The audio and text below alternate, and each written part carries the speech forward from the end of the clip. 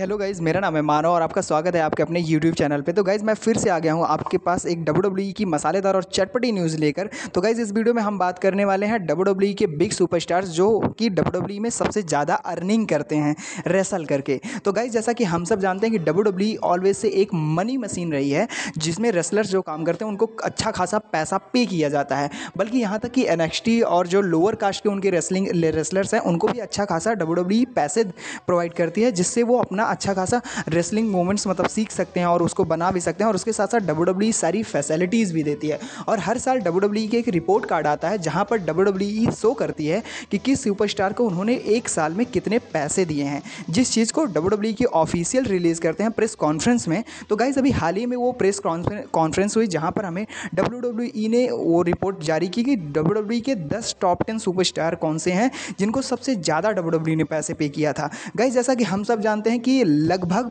पिछले ten year से ज़्यादा टाइम से ब्रॉक लेसनर नंबर वन पे हैं, जबकि एंट्रेंस के मामले में सबसे कम वो आते हैं डब्ल्यू डब्ल्यू में।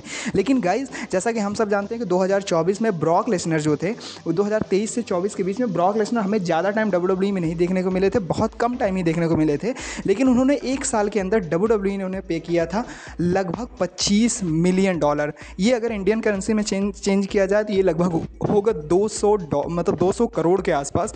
गाइज़ डब्ल्यू डब्ल्यू में ब्रॉक लेसनर ही नंबर वन पे हैं। उसके बाद जो रोमन रेंज हैं, वो हैं आठ मिलियन डॉलर। गाइज़ आप देख सकते हो कितना ज़्यादा अंतर है रोमन रेंज जैसे बड़ी सुपरस्टार और ब्रॉक लेसनर के बीच में। मतलब ब्रॉक लेसनर कितने बड़े सुपरस्टार हैं। रोमन रेंज को आठ मिलियन डॉलर अगर आप इसको इंडियन करेंसी में चेंज करोगे तो लगभग नब्बे करोड़ के आसपास आते हैं, जो कि मतलब रोमन रेंज ने एक साल में डब्ल्यू डब्ल्यू में बनाया है। उसके साथ साथ ब्रांड प्रमोशंस होते हैं तो उसका एक अलग पेमेंट है, लेकिन ये डब्ल्यू डब्ल्यू का मतलब पैसा है जो डब्ल्यू डब्ल्यू ने पे किया है रोमन रेंज को।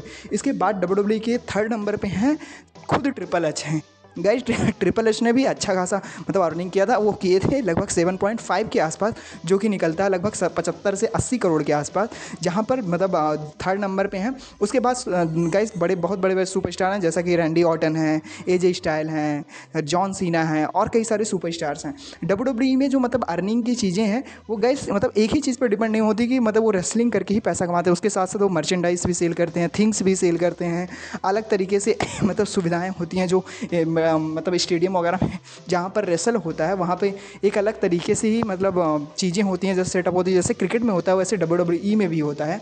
तो गाइज़ उससे रिलेटेड बहुत सारी चीज़ें होती हैं, जो कि बिज़नेस मेकिंग है, और पूरे वर्ल्ड में वो चीज़ रन करती हैं। तो गाइज़ इस रिपोर्ट में तो ब्रॉक लेसनर ने बाजी मारी ली है, लेकिन गाइज़ अब डब्ल्यू डब्ल्यू में ब्रॉक लेसनर बहुत कम हमें एंट्रेंस देखने को मिलते हैं, उसके बाद भी वो जब एक दो मैच या तीन मैच रेसल करते हैं, उसके लिए वो पच्चीस मिलियन डॉलर मतलब इतना करते हैं। जितना वो करते हैं, उसमें तो कई सारे बड़े बड़े सुपर आ जाएँ। बाकी न्यूज़ यही थी, अगर आपको न्यूज़ पसंद आई हो या न्यूज़ से रिलेटेड कुछ थाट हो तो नीचे कॉमेंट में बता सकते हो, बाकी वीडियो पसंद आई हो तो लाइक ज़रूर कर दीजिएगा। बाकी thank you so much bye take care